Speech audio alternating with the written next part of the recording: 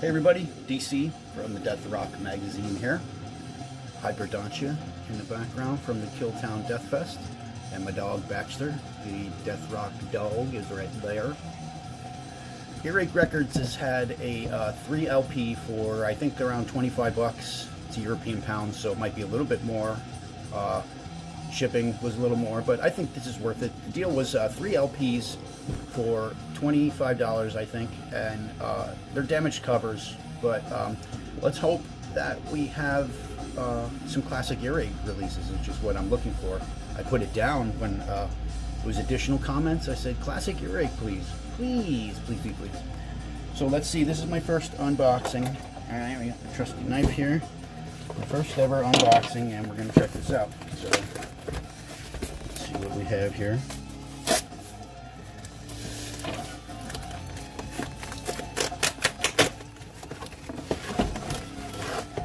Okay. First one out of here.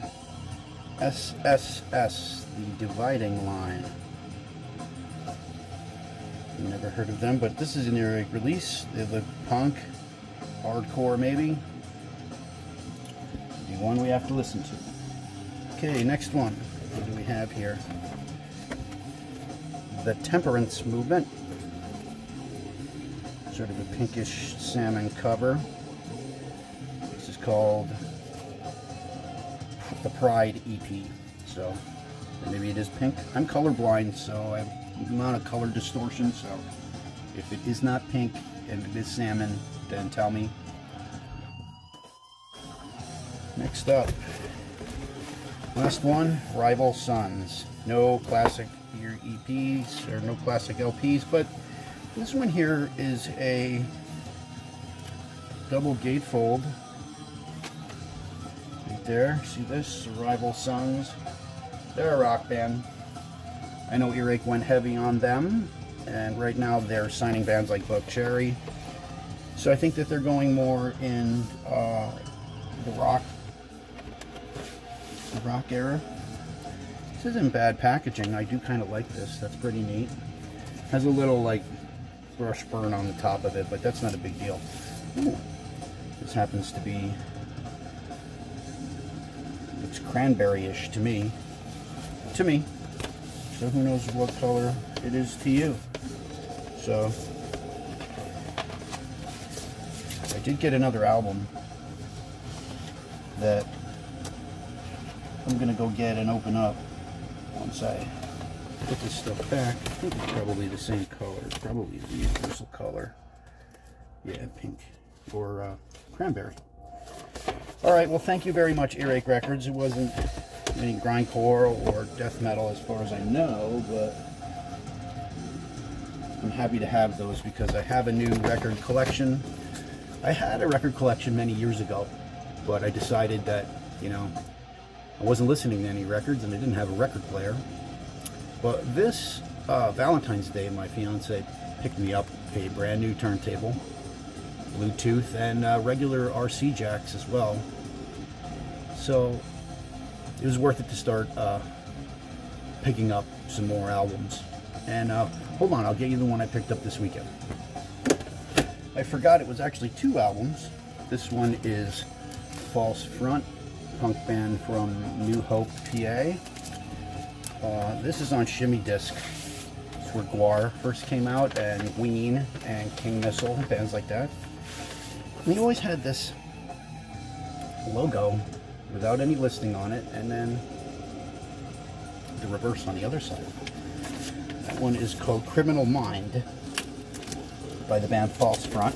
Check them out. I remember seeing them with Ween in about 1992 in Asbury Park, New Jersey at uh, Thunderbirds. Thunderbirds Cafe in Asbury Park, which was actually really, really cool little place to see bands like that, and I like them too.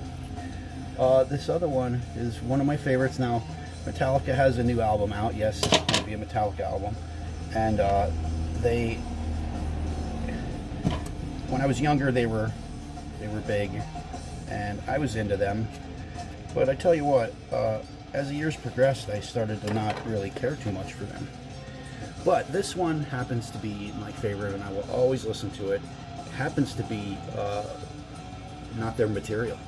It is the 598 EP. I have this on every format, uh, except 8-track. If they ever made an 8-track, I don't know. But I had now I have this on vinyl. I have it on CD, vinyl, cassette, and anytime I see this sort of format, I'm gonna pick it up as long as it's not this new one. And this cost me 20 bucks, and it's a repress. But this is one of my favorite Metallica uh, releases of all time. Master Puppets is good. Kill 'Em All is good. Yeah. It's not this one though. It's absolutely amazing. Really happy with that one.